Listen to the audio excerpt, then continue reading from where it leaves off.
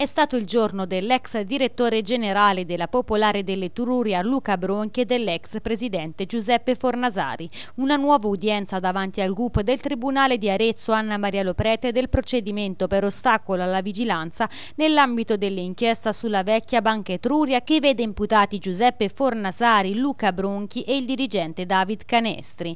L'udienza iniziata intorno alle 10 di mercoledì mattina è terminata alle 14. Ha preso avvio con il conto controinterrogatorio dell'ex direttore generale. Controesame, domande da parte della procura, da parte di... l'abbiamo bloccata sul nascere perché erano mm, domande mal poste. Punti toccati? Di quelli del capo di imputazione.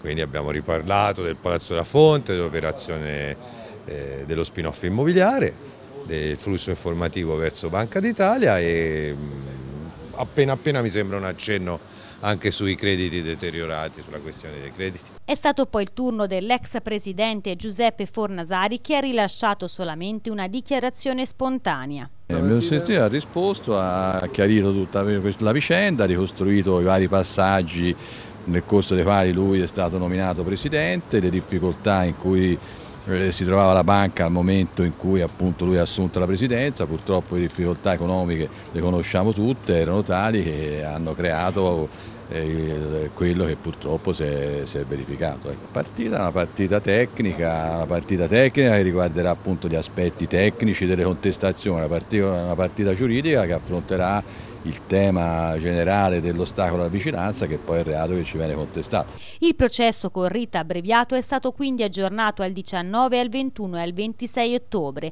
L'ultima udienza fissata dovrebbe essere quella della sentenza.